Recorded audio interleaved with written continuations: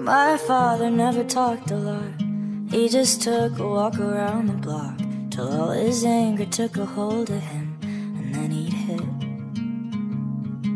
My mother never cried a lot. She took the punches, but she never fought till she said, I'm leaving, then I'll take the kids.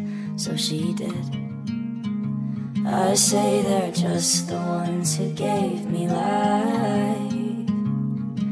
But I truly am my parents' child.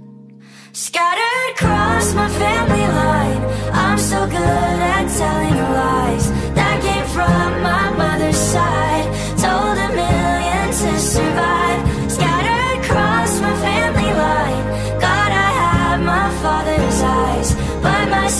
Sisters, when I cry, I can run, but I can't hide from my family life.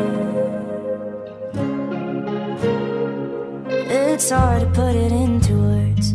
How the holidays will always hurt. I watch the fathers with their little girls wonder what I did to deserve this. How could you hurt a little kid? I can't forget, I can't forgive you, cause now I'm scared that everyone I love will leave